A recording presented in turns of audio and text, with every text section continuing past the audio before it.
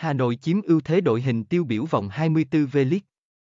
Màn trình diễn ấn tượng trong trận thắng Viettel, để tiến gần ngôi vô địch V-League 2022, giúp Hà Nội Fan Club có đến 4 vị trí trong đội hình tiêu biểu vòng 24, được Hội đồng chuyên môn báo thanh niên bình chọn. 4 vị trí trải đều các tuyến gồm, đội trưởng Đỗ Hùng Dũng, trung vệ Nguyễn Thành Trung, hậu vệ trái Trương Văn Thái Quý và tiền đạo Lucas Vinicius. Hùng Dũng được 7 trên 9 phiếu chọn đã đánh dấu sự trở lại xứng đáng. Anh đã tìm lại cảm giác chơi bóng một cách mạnh mẽ, tưng bừng, không chỉ chỉ huy tốt, lối đá của Hà Nội Fan Club trong điều kiện thiếu văn quyết. Mà còn khiến huấn luyện viên Park Hang-seo hài lòng khi đội tuyển sắp tập trung vào cuối tháng này.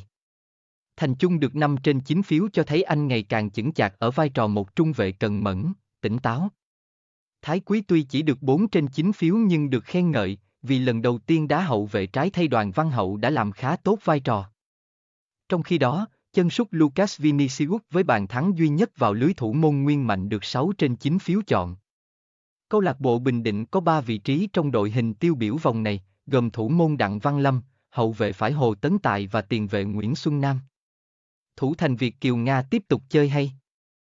Ra vào hợp lý, chỉ huy hàng thủ an toàn giúp Bình Định có 3 điểm, được 6 trên 9 phiếu chọn. Tấn Tài ở hành lang phải luôn chơi rất nhiệt huyết, và song sáo với khả năng lên công về thủ nhịp nhàng, được 7 trên 9 phiếu. Còn Xuân Nam với bàn thắng duy nhất vào lưới sông Lâm Nghệ An được 6 trên 9 phiếu. Cả ba đã có đóng góp nổi bật, giúp Bình Định tiếp tục bám sát hai đội đầu bảng là Hà Nội và Hải Phòng, mở ra hy vọng giành vị trí cao tại V-League mùa này. Câu lạc bộ Hải Phòng có hai vị trí trong đội hình tiêu biểu vòng 24 là Đặng Văn Tới và Nguyễn Hải Huy. Đây là lần thứ ba liên tiếp Văn Tới nằm trong đội hình tiêu biểu. Cho thấy kể từ ngày đầu quân về đội bóng đất cảng, trung vệ mượn từ Hà Nội Fan Club này càng chơi càng hay, anh được 5 trên 9 phiếu chọn. Còn Hải Huy với bàn thắng duy nhất vào lưới Nam Định có 8 trên 9 phiếu, cho thấy vai trò và tầm ảnh hưởng rất lớn của cựu đội trưởng Thang Quảng Ninh này. Hai gương mặt còn lại trong đội hình tiêu biểu, thuộc về liên nguyễn của câu lạc bộ thành phố Hồ Chí Minh và Tiến Linh, Bình Dương. Cầu thủ Việt Kiều Mỹ vẫn là nhân tố quan trọng giúp câu lạc bộ thành phố Hồ Chí Minh thắng đậm Đà Nẵng 3-0 và chính thức trụ hạng, anh được 8 trên 9 phiếu bầu. Tiến Linh với bàn thắng trong chiến thắng 4-2 trước Thanh Hóa được 6 trên 9 phiếu.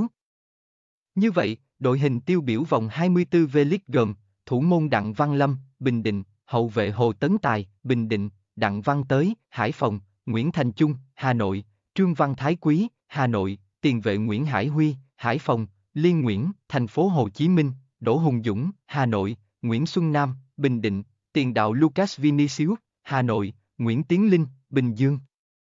Hội đồng chuyên môn bầu chọn đội hình tiêu biểu V-League 2022, cuộc thi sôi động cùng V-League 2022 do báo Thanh niên tổ chức gồm chuyên gia bóng đá Đoàn Minh Sương, chuyên gia bóng đá Vũ Tiến Thành, huấn luyện viên cựu danh thủ Đặng Phương Nam.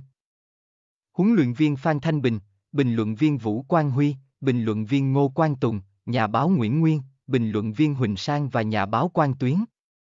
Cảm ơn các bạn đã theo dõi tin tức bóng đá 24 giờ New. Đừng quên đăng ký kênh và bấm chuông để nhận thông tin mới nhất nhé các bạn.